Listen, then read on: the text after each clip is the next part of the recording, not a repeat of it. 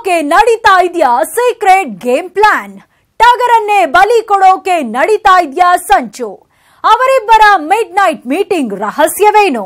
ಇದೇ ಹೊತ್ತಿನ special story ಬಲಿಕಾ ಬಕ್ರ. ನಾನು Soumya Malali. Siddaramaiah Congress CLP leader. ರಾಜ್ಯ ರಾಜಕೀಯದಲ್ಲಿ ಸಿದ್ದರಾಮಯ್ಯರನ್ನ ಕಟ್ಟಿಹಾಕೋ ನಾಯಕ. ಮತ್ತೊಬ್ಬ ಇಲ್ಲ ಅನ್ನೋ ಮಾತುಗಳಿತ್ತು. ಆದ್ರೆ ಈಗ ಟಗರು ಸಿದ್ದರಾಮಯ್ಯರನ್ನೇ ಗುಮ್ಮೋದಕ್ಕೆ ಆ ನಾಯಕ ರಣತಂತ್ರವನ್ನ ಹೆಣೆದಿದ್ದಾನೆ ಅನ್ನೋದು ಸದ್ಯದ ಸುದ್ದಿ. ಹಾಗಾದ್ರೆ ಆ ನಾಯಕ ಯಾರು ಗೊತ್ತಾ? ಹೇಳಿದೆ ನೋಡಿ ಕಂಪ್ಲೀಟ್ ಡೀಟೇಲ್ಸ್ ಟಗರಿಗೆ ಡಿಚ್ಚಿ ಕೊಡೋದಕ್ಕೆ ರೆಡಿ ಆಗಿದ್ದಾರ ಆ ನಾಯಕ. ಆ ನಾಯಕನ ಮಾಸ್ಟರ್ ಪ್ಲಾನ್ಗೆ ಸೈಡ್ ಲೈನ್ ಆಗ್ತಾರ ಸಿದ್ದು?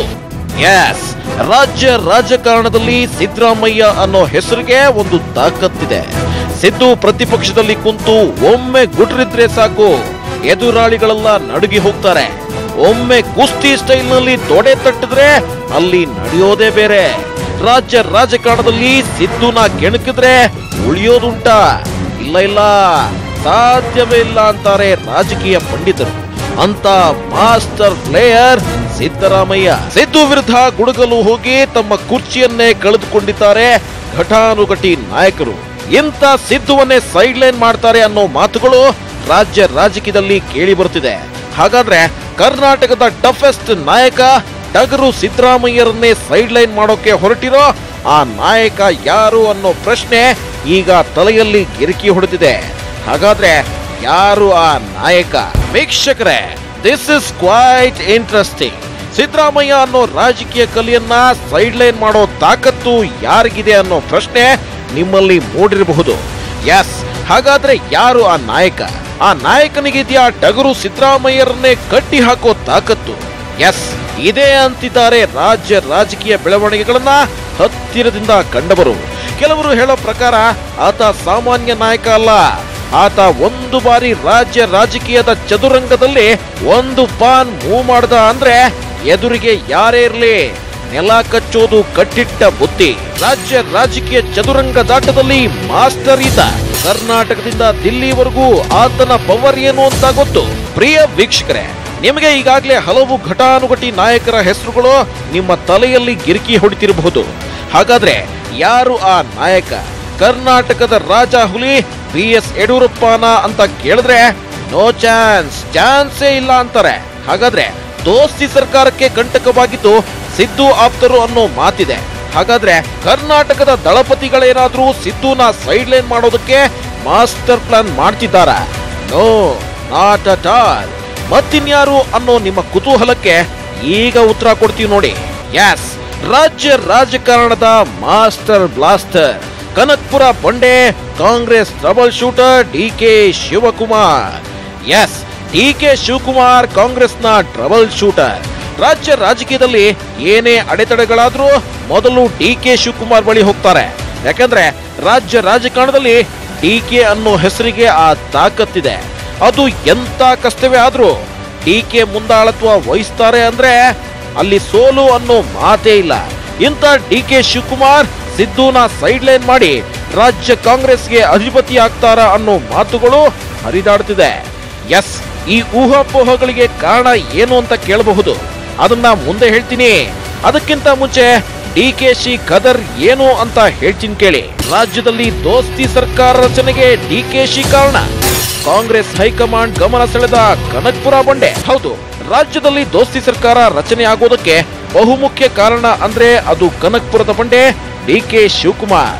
ಎರಡ್ ಸಾವಿರದ ಹದಿನೆಂಟರ ವಿಧಾನಸಭಾ ಚುನಾವಣೆಯಲ್ಲಿ ಯಾವ ಪಕ್ಷಕ್ಕೂ ಸ್ಪಷ್ಟ ಬಹುಮತ ಬಂದಿರಲಿಲ್ಲ. ಬಿಜೆಪಿ ನೂರ ನಾಲ್ಕು ಸ್ಥಾನ ಪಡೆದರೂ ಅಧಿಕಾರದ ಚುಕ್ಕಾಣಿ ಹಿಡಿಯೋದಕ್ಕೆ ಇನ್ನೂ ಒಂಬತ್ತು ಸ್ಥಾನ ಬೇಕಾಗಿತ್ತು. ಆದ್ರೆ ಅದು ಸಾಧ್ಯವಾಗಿರಲಿಲ್ಲ.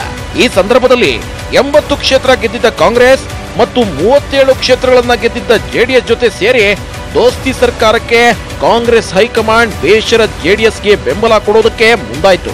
ಆ ಸಂದರ್ಭದಲ್ಲಿ ಆಪರೇಷನ್ ಕಮಲದ ಭೀತಿ ದೋಸ್ತಿ ನಾಯಕರಿಗೆ ಎದುರಾಯಿತು. ಆಗ ಸಿದ್ದುನ ಹಿಂದೆ ಸರಿಸಿ ಟ್ರಬಲ್ ಶೂಟರ್ ಡಿ ಕೆ ಮುಂದಾಳತ್ವ ವಹಿಸಿಕೊಂಡು ಬಿಜೆಪಿಯ ಎಲ್ಲಾ ಪ್ಲಾನ್ಗಳನ್ನ ಡುಸ್ ಮಾಡಿ ದೋಸ್ತಿ ಸರ್ಕಾರದ ರಚನೆಯಾಗುವುದಕ್ಕೆ ಅಡಿಪಾಯ ಹಾಕ್ತಾರೆ. ಡಿಕೆಶಿಯ ಈ ಕಾರ್ಯವೈಖರಿಗೆ ಹೈಕಮಾಂಡ್ ಫುಲ್ ಖುಷಾಗಿತ್ತು ದೋಸ್ತಿ ಸರ್ಕಾರ ಉಳಿಯಲ್ಲ ಅಂದ್ರೂ ಪಟ್ಟು ಬಿಡದ ಡಿಕೆಶಿ ಟಗರು ಸಿದ್ದು ಸೈಲೆಂಟ್ ಆದ್ರೂ ಡಿಕೆಶಿ ಸೈಲೆಂಟ್ ಆಗೋ ಮಾತೇ ಇಲ್ಲ. ಎಸ್, ಸತತ ಆರು ಬಾರಿ ಆಪರೇಷನ್ ಕಮಲಕ್ಕೆ ಕೈ ಹಾಕಿ ಸುಟ್ಕೊಂಡಿದ್ದ ಬಿಜೆಪಿ ಏಳನೇ ಬಾರಿ ಆಪರೇಷನ್ ಮಾಡೋ ಅವಶ್ಯಕತೆಯೇ ಇರಲಿಲ್ಲ. ಯಾಕಂದ್ರೆ ಕಳೆದ ಒಂದು ವರ್ಷ ನಾಲ್ಕು ತಿಂಗಳು ಅಧಿಕಾರದ ಗದ್ದುಗಿಗೇರಿದ್ದ ಕುಮಾರಸ್ವಾಮಿ ಸಾರಥ್ಯದ ದೋಸ್ತಿ ಸರ್ಕಾರ. ಶಾಸಕರಿಗೆ ಈ ಸರ್ಕಾರದಲ್ಲಿ ಸರಿಯಾದ ಸ್ಥಾನಮಾನ ಸಿಕ್ಕಿರಲಿಲ್ಲ. ಮಂತ್ರಿ ಆಕಾಂಕ್ಷಿಗಳಿಗೆ ಮಂತ್ರಿ ಪಟ್ಟ ಸಿಗಲಿಲ್ಲ. ಜೊತೆಗೆ ತಮ್ಮ ತಮ್ಮ ಕ್ಷೇತ್ರಗಳಿಗೆ ಅನುದಾನ ಸಿಗಲೇ ಇಲ್ಲ ಅಂತ ಕೆಲ ದೋಸ್ತಿ ಶಾಸಕರು ಸಾಲು ಸಾಲಾಗಿ ಬಂದು ರಾಜೀನಾಮೆ ಕೊಟ್ಟು ಮುಂಬೈಗೆ ಹಾರಿದ್ರು. ಆ ಸಂದರ್ಭದಲ್ಲಿ ಬಂಡೆದ್ದ ದೋಸ್ತಿ ಶಾಸಕರಲ್ಲಿ ಬಹುತೇಕರು ಸಿದ್ದು ಆಪ್ತರಾಗಿದ್ದವರೇ. ಆದ್ದರಿಂದ ಇದಕ್ಕೆಲ್ಲ ಕಾರಣ ಸಿದ್ದುನೇ ಅನ್ನೋ ಮಾತುಗಳು ಕೇಳಿ ಬಂದಿತ್ತು. ವೀಕ್ಷಕರೇ, ಅತೃಪ್ತ ದೋಸ್ತಿ ರೆಬಲ್ ಶಾಸಕರು ತಮ್ಮ ಶಾಸಕ ಸ್ಥಾನಕ್ಕೆ ರಾಜೀನಾಮೆ ಕೊಟ್ಟು ಮುಂಬೈಗೆ ಹಾರಿದ ಸಂದರ್ಭದಲ್ಲಿ ಸಿದ್ದು ಸೈಲೆಂಟ್ ಆಗಿದ್ರು. ಮುಂಬೈಗೆ ಹಾರಿದ ಅತೃಪ್ತ ಶಾಸಕರಲ್ಲಿ ಹೆಚ್ಚಾಗಿ ಇದ್ದಿದ್ದು ಸಿದ್ದು ಆಪ್ತರೆ. ಆದ್ರೆ ಸಿದ್ದು ದೋಸ್ತಿ ಸರ್ಕಾರ ಉಳಿಸೋದಕ್ಕೆ ಯಾವ ಪ್ರಯತ್ನವನ್ನು ಮಾಡಿರಲಿಲ್ಲ. ಆದ್ರೆ trouble shooter D K Shivakumar ಮುಂಬೈಗೆ ಹೋಗಿ ಹೋಟೆಲ್ನಲ್ಲಿ ಅತೃಪ್ತ ಶಾಸಕರ ಮನವೊಲಿಸೋ ಪ್ರಯತ್ನಕ್ಕೆ ಮುಂದಾಗ್ತಾರೆ. ಆದ್ರೆ ಅದು ಕೂಡ ವಿಫಲವಾಗಿತ್ತು. ಆದ್ರೆ ಕನಕ್ಪುರ ಬಂಡೆ ಸರ್ಕಾರ ಉಳಿಸೋದಕ್ಕೆ ಪಟ್ಟ ಕಷ್ಟವನ್ನ ಹೈಕಮಾಂಡ್ ಗಮನಿಸ್ತಿತ್ತು.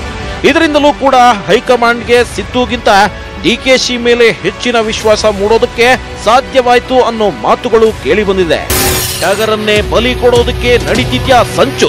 ಅವರಿಬ್ಬರ ಮಿಡ್ ನೈಟ್ ಮೀಟಿಂಗ್ ರಹಸ್ಯವೇನು? ಎಸ್, ಟಗರನ್ನೇ ಓವರ್ಟೇಕ್ ಮಾಡೋದಕ್ಕೆ ರೆಡಿ ಆಗ್ತಿದ್ದಾರಾ ಶಿ ಅನ್ನೋ ಮಾತುಗಳು ರಾಜಕೀಯ ಪಡಸಾಲೆಯಲ್ಲಿ ಕೇಳಿ ಬರ್ತಿದೆ ಅದಕ್ಕೆ ಕಾರಣವಾಗಿರೋದು ಅದೊಂದು ಮಿಡ್ ನೈಟ್ ಸೀಕ್ರೆಟ್ ಮೀಟಿಂಗ್. ಹಾಗಾದ್ರೆ ಆ ಸೀಕ್ರೆಟ್ ಮೀಟಿಂಗ್ ಮಾಡಿದ್ದು ಯಾರ್ಯಾರು ಅನ್ನೋ ಪ್ರಶ್ನೆ ಹುಟ್ಟುಕೊಳ್ಳುತ್ತೆ. ಹಾಗಾದ್ರೆ ಆ ಮಿಡ್ ನೈಟ್ ಮೀಟಿಂಗ್ನಲ್ಲಿ ಇದ್ದಿದ್ದು ಯಾರು ಗೊತ್ತಾ? ಅದು ಬೇರೆ ಯಾರು ಅಲ್ಲ. ರಾಜರಾಜೇಶ್ವರಿ ಕ್ಷೇತ್ರದ ಕಾಂಗ್ರೆಸ್ ಅತೃಪ್ತ ಶಾಸಕ Munirathna. Yes D K Shi ಮತ್ತು ಮುನಿರತ್ನ ಸೀಕ್ರೆಟ್ ಆಗಿ ಮಿಡ್ ನೈಟ್ ಮೀಟಿಂಗ್ ಮಾಡಿದ್ದಾರೆ ಅನ್ನೋ ಮಾತುಗಳು ಈಗ ಹರಿದಾಡ್ತಿದೆ. ಜೊತೆಗೆ ಇದಕ್ಕೆಲ್ಲ ಕಾರಣ ಮುನಿರತ್ನಗೆ ಸಿದ್ದು ಮೇಲಿರೋ ಕೋಪವಂತೆ. ಎಸ್ ಈ ಹಿಂದೆ ಮುನಿರತ್ನ ಸಿದ್ದು ಆಪ್ತರಲ್ಲಿ ಒಬ್ಬರು ಅಂತ ಹೇಳಲಾಗ್ತಿತ್ತು. ಆದರೆ ಇಂಥ ಆಪ್ತನೇ ಈಗ ಸಿದ್ದು ಮೇಲೆ ಕತ್ತಿ ಮಸಿತಿರೋದು ಯಾಕೆ ಅನ್ನೋ ಪ್ರಶ್ನೆಗೆ ಸದನದಲ್ಲಿ ಸಿದ್ದರಾಮಯ್ಯ ಹೇಳಿದ ಅದೊಂದು ಮಾತು. ಯಾರ್ಯಾರು ನಮ್ಮ ಪಕ್ಷ ಬಿಟ್ಟು ದ್ರೋಹ ಮಾಡಿ ಹೋಗಿದ್ದಾರೆ ಜಗತ್ತೇ ಪ್ರಳಯ ಆದರೂ ಕೂಡ ಅವ್ರನ್ನ ವಾಪಸ್ ಕೇಳಿದ್ರ? ಸಿಎಲ್ಪಿ ಲೀಡರ್ ಸಿದ್ದರಾಮಯ್ಯ ಸದನದಲ್ಲಿ ಆಡಿದ ಮಾತುಗಳನ್ನ. ಪ್ರಳಯವಾದ್ರೂ ಸರಿ, ಮತ್ತೊಮ್ಮೆ ಅತೃಪ್ತ ಕಾಂಗ್ರೆಸ್ ಶಾಸಕರನ್ನ ಪಕ್ಷಕ್ಕೆ ಸೇರಿಸಿಕೊಳ್ಳಲ್ಲ ಅಂತ ಹೇಳಿದ್ದು. ಯಾಸ್, ಈ ಒಂದು ಮಾತು ಸಿದ್ದು ಆಪ್ತರಿಗೆ ನುಂಗಲಾರದ ತುತ್ತಾಗಿತ್ತು. ಜೊತೆಗೆ ಅಲ್ಲಿಂದಲೇ ಸಿದ್ದು ಮೇಲೆ ಸಿದ್ದು ಆಪ್ತರು ತಿರುಗಿ ಬೀಳೋದಕ್ಕೆ ಶುರುವಾಗಿದ್ದು. ಒಂದು ಕಾಲದಲ್ಲಿ ಸಿದ್ದರಾಮಣ್ಣ ಅಂತಿದ್ದ ಸಿದ್ದು ಆಪ್ತರು ಈಗ ಸಿದ್ದುಗೆ ಟಕ್ಕರ್ ಕೊಡಲು ಮುಂದಾಗಿದ್ದಾರೆ.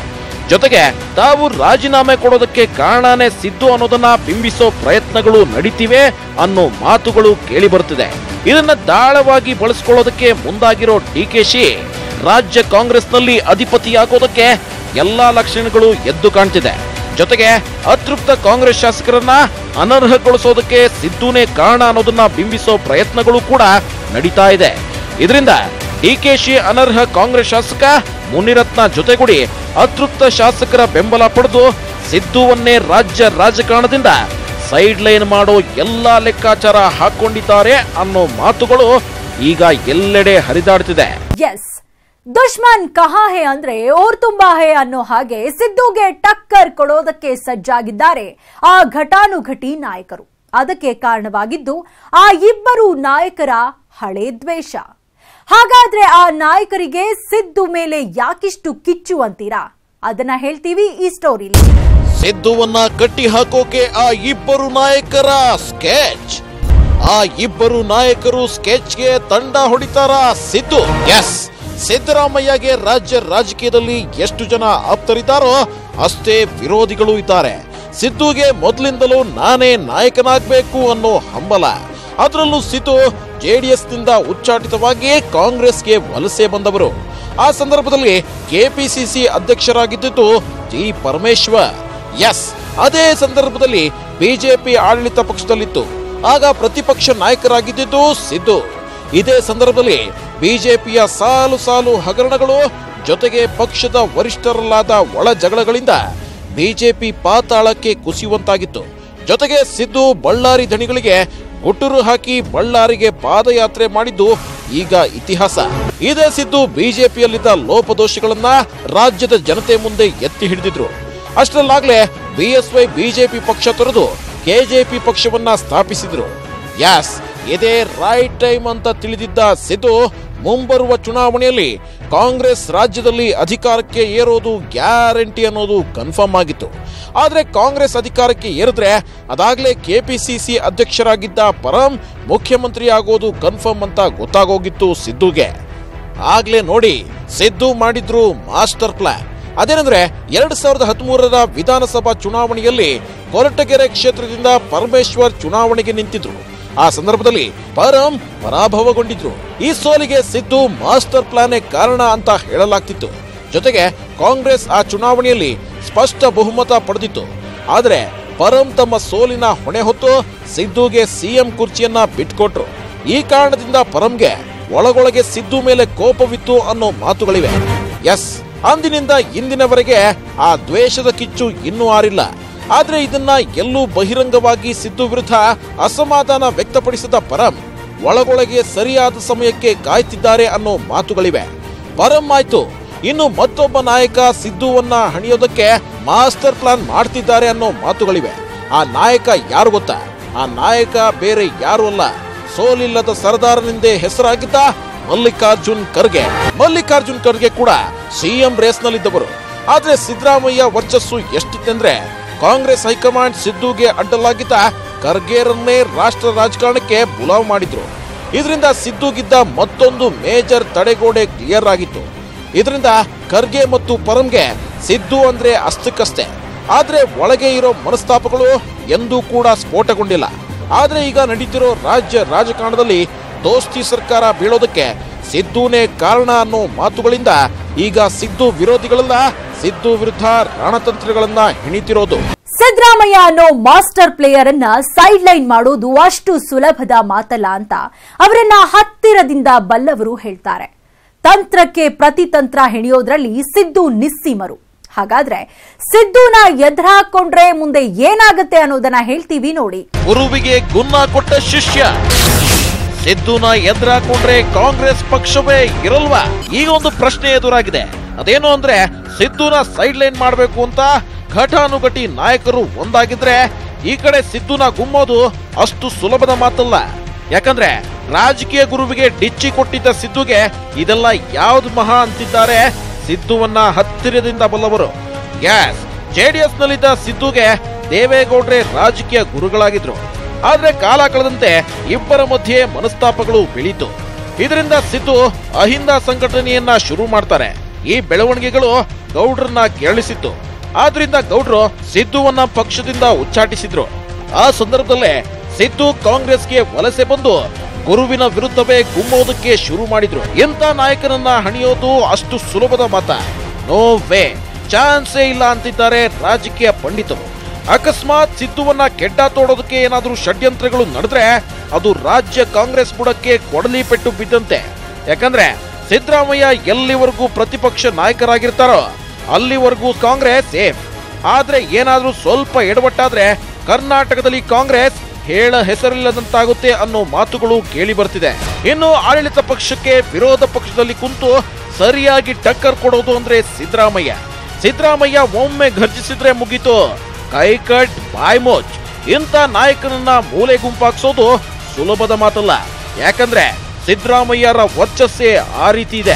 ನೋಡಿದ್ರಲ್ಲ, ಸಿದ್ದರಾಮಯ್ಯ ಅನ್ನೋ ಒಂಟಿ ಸಲಗವನ್ನ ಹಣಿಯೋದು ಅಷ್ಟು ಸುಲಭದ ಮಾತಲ್ಲ ಅನ್ನೋದು ಇಲ್ಲಿ ಸ್ಪಷ್ಟ. ಆದ್ರೆ ಈ ರಾಜಕೀಯದಲ್ಲಿ ಯಾವಾಗ ಏನ್ ಬೇಕಾದ್ರೂ ಆಗ್ಬಹುದು. ಇದಕ್ಕೆಲ್ಲ ಉತ್ತರ ಸಿಗಬೇಕು ಅಂದ್ರೆ ಕಾದು ನೋಡ್ಬೇಕಷ್ಟೆ. ಇದುವೇ ಹೊತ್ತಿನ ಸ್ಪೆಷಲ್ ಸ್ಟೋರಿ ನೋಡ್ತಾ ಇರಿ ನ್ಯೂಸ್ ಏಟೀನ್ ಕನ್ನಡ. ಜಾಲ ನಮ್ಮದು, ಬಲ ನಿಮ್ಮದು.